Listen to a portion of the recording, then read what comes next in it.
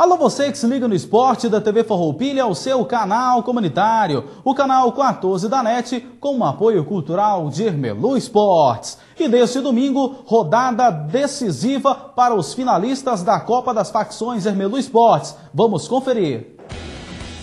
Na partida que reeditou a final do ano passado, o Rossicar e Kinder brindaram um público presente com uma semifinal repleta de bola na rede.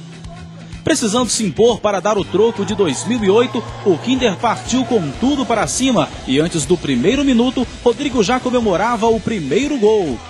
O atual campeão não conseguia levar perigo ao gol adversário, mas o goleador do campeonato Pink virou o placar em três minutos, em dois belos gols fora de área.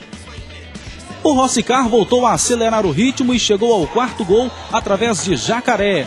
Pink marcou o quinto, se isolando na artilharia da competição. O Kinder ainda descontou com Thiago e Jason, evitando a goleada, mas não a derrota. Final 5 a 3.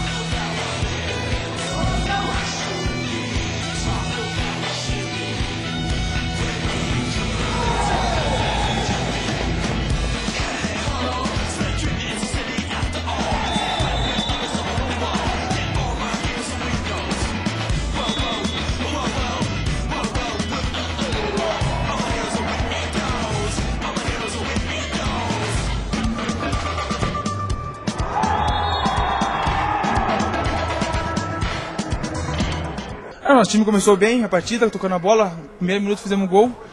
E o time deles bem qualificado. Acertaram três, quatro chutes ali que não tinha explicação ao goleiro. Mas graças a Deus nós conseguimos até o fim bem, tentando marcar e conseguimos reagir no final, mas não adiantou muito. Mas graças a Deus temos aí agora para disputar terceiro, quarto agora. É, fizemos um. Demos uma.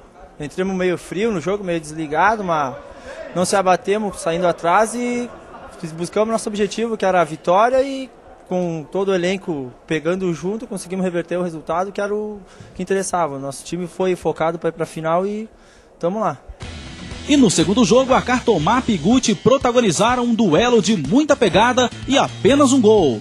As equipes criaram poucas oportunidades para balançar as redes. O William da Cartomap chegou a acertar duas vezes a trave adversária, mantendo o marcador zerado até os 16 minutos da etapa final, quando Diogo fez o gol solitário que colocou o time na decisão da competição. Muito importante, a equipe entrou com raça, com determinação. Nós sabíamos que o time adversário era muito forte, era superior em qualidade técnica, mas a gente apostou na, no conjunto da equipe, né, numa tática de marcar forte e tentar buscar o gol no contra-ataque e acabamos sendo felizes, fazendo um a 0 aí e agora vamos para a final, jogo mais difícil ainda e vamos buscar o título. Foi, foi o mais difícil de todo o campeonato. O time deles tinha muita qualidade, eles jogavam muito bem e a equipe soube suportar a pressão deles, né, com muita dificuldade, e acabamos sendo felizes aí no final do jogo.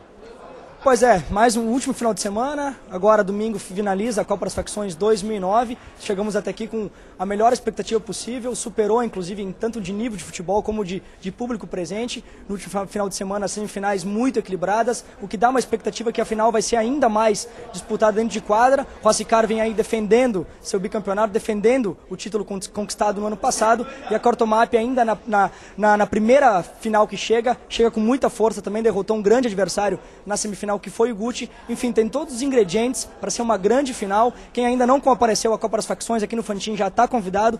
Três horas da tarde, no domingo, terceiro e quarto lugares sendo disputados aí pelo pessoal do Gucci e também do Kinder. E depois, às quatro horas, grande final imperdível realmente.